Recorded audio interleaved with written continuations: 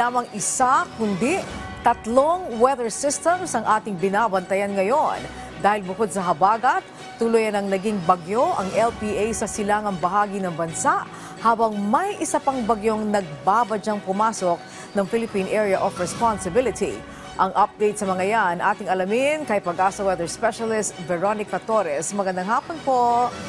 Magandang hapon din po sa inyo, Ma'am Angeli, pati na rin sa ating mga taga-subaybay sa PTV4. Kanina nga alas 10 na umaga, yung minomonitor nating si Bagyong Hener na nasa Tropical Depression category ay huling namataan sa layong 325 kilometers east-northeast ng Kasiguran, Aurora. Nagtataglay ng lakas na hangin na 55 kilometers per hour malapit sa sentro at bugso na abot sa 70 kilometers per hour.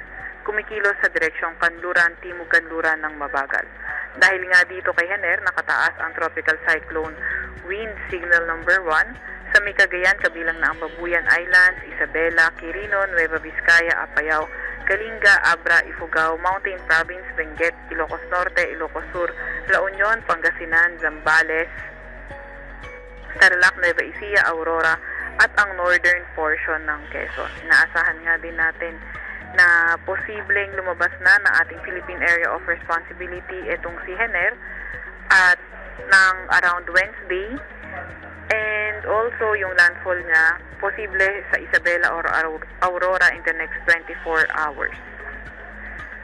And may isa maliban nga dito kay Hener, may isa pa tayong monitor na bagyo na nasa labas ng ating Philippine Area of Responsibility. So, itong bagyong ito ay posibleng pumasok ng ating Philippine Area of Responsibility tomorrow evening and then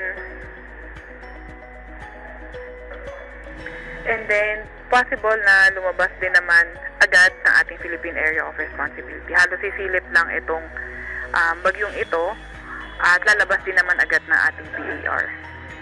At yun po munang latest mula sa Weather Forecasting Center ng Pag-asa, Veronica Torres. Okay, uh, Miss uh, Veronica, ito po no, sa oras na maglandfall itong bagyo, bibilis po ba o babagal pa ang galaw nitong bagyong Hener?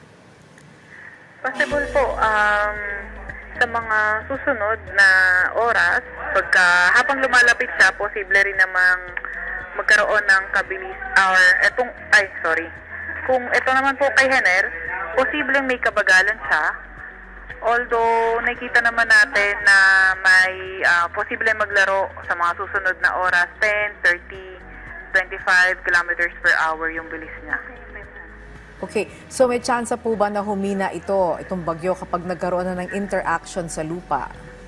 Although hindi naman natin tinatanggal yung possibility kung hihina siya, pero nakikita kasi natin na habang babaybayin niya yung landmass natin, man, ah, mananatili siya sa around 55 kilometers per hour. Although pag emerge niya sa dagat ulit, habang binabaybay yung papalayo sa atin, dun siya posibleng lumakas. O paano po at ating maaring asahan, ano po, ah, yung malalakas na pag-ulan kahit po humina itong bagyong Hener? Posible pa nga rin yung mga malalakas na mga pagulan, lalo na sa kanlurang bahagi ng Luzon at Visayas dahil ma-enhance nga na itong si Hener yung ating southwest monsoon o habagat. Okay, pagdating naman po dun sa isa pa, no, yung tropical storm Pulasan, ah, posible po bang magkaroon ng interaction sa bagyong Hener? Ano po yan? Sorry? May, ah, may possibility po ba na mag-interact ito pong ah, Pulasan na bagyo at ang ah, Hener? Currently, malayo po sila sa isa't isa para mag-interact. Okay, and uh, finally, mga ilan pa pong bagyo ang inaasahan natin bago matapos po ang buwan ng Setyembre. Ngayon, inaasahan natin posibleng, um, nung nakaraan kasi, one or two, so posibleng magkaroon pa, pa rin tayo ng bagyo for this September. Okay. Alright, sige po. Maraming salamat po sa oras na binigay niyo sa amin. Magandang hapon po. Salamat po, magandang hapon. Yes, si Pag-asa Weather Specialist Veronica Torres. Paalala muli sa ating mga kababayan para maging ligtas sa lahat ng pagkakataon mula sa epekto ng pabago-bagong panahon.